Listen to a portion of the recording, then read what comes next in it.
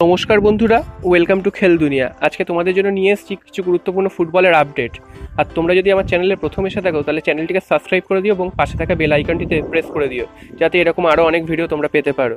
তো চলো দেরি না করে শুরু করি আজকের ভিডিও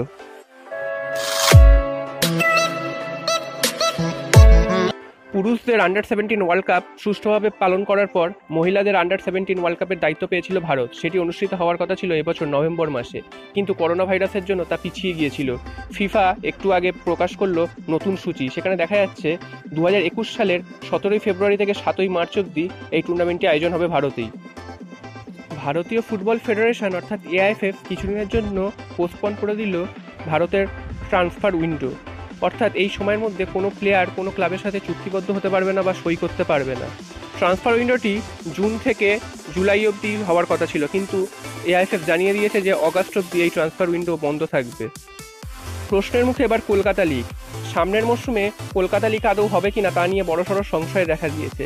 ইতিমধ্যেই গতবারের চ্যাম্পিয়ন পিয়ারলেস তারা জানিয়ে দিয়েছেন যে সামনের বছর তারা টিম না নামাতে পারে তারা জানিয়েছেন যে এই সময় করোনা ভাইরাসের জন্য আর্থিক দিক থেকে অনেকটাই অসুবিধা সৃষ্টি হয়েছে এবং সেই কারণে তারা সামনের মৌসুমে টিম নামাবেন না। পিয়ারলেস গতবার চ্যাম্পিয়ন হয়েছিল এবং ষাট বছর পর চ্যাম্পিয়ন হয়ে ইতিহাস তৈরি করেছিল কলকাতা ফুটবলে। সেই পিয়ারলেসই যদি এবার দল না নামায়, তাহলে কলকাতা লিগের জৌলুস অনেকটাই হারাতে পারে। এছাড়াও পিয়ারলেস থেকে অনেক ভালো ভালো ফুটবলাররা উঠে আসেন বড় বড় ক্লাবে। আইএফএ থেকে জানা গিয়েছে যে আইএফএ একটা মেল পাঠাবে পাঁচটা ডিভিশনে খেলা একশো একষট্টিটি ক্লাবকে তাদের থেকে জানতে চাইবে তাদের মতামত। তারপরেই এই নিয়ে ডিসিশন নেবে সামনের মরশুমে সিএফএল আদৌ হবে কি হবে না।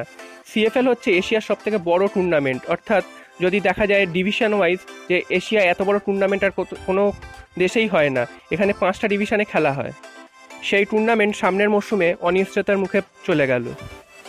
এরপর দেখে নেব কিছু ট্রান্সফার আপডেট বা ট্রান্সফার রিউমার প্রথমেই দেখে নেব জবি জাস্টিনকে নিয়ে। জবি জাস্টিন লাস্ট মরশুমে এটিকে মোহনবাগানে খুব একটা খেলার সময় পাননি। শোনা যাচ্ছিল তিনি নাকি কেরালাতে যেতে পারেন। কিন্তু সব জল্পনার অবসান ঘটিয়ে তিনি আবার আরেক মরশুমের জন্য এটিকে মোহনবাগানে চুক্তিবদ্ধ হলেন। পরের মরশুমের জন্য দুই কেরালার ফুটবলের সাথে চুক্তিবদ্ধ করল ইস্টবেঙ্গল তারা হলেন রিনো অ্যান্ট এবং সিকে ভিনিত। রিনো অ্যান্টো হচ্ছে রাইট ব্যাকের প্লেয়ার এবং সিকে ভিনিত হচ্ছে স্ট্রাইকারের প্লেয়ার তারা দুজন এর আগে কেরালা ব্লাস্টার্সের হয়ে খেলেছেন এবং শেষ মরশুমে তিনি ছিলেন জামশেদপুর এফসিতে। এবছর ইস্টবেঙ্গলের দেখা যাবে তাদের দুজনকে। আইএসএল এর ক্লাব নর্থ ইস্ট ইউনাইটেড পরের মরশুমে কোচ হওয়ার জন্য প্রস্তাব দিল আলেজান্দ্রো সিপিকে। তিনি আসলে ইতালির লোক। এই ঊনপঞ্চাশ বছর বয়সী ভদ্রলোক দু হাজার এগারো সালে এসি মিলন যুব দলের কোচ ছিলেন। এছাড়াও তিনি আন্ডার সেভেন্টিন এবং আন্ডার নাইনটিন দলেরকেও সামলেছেন।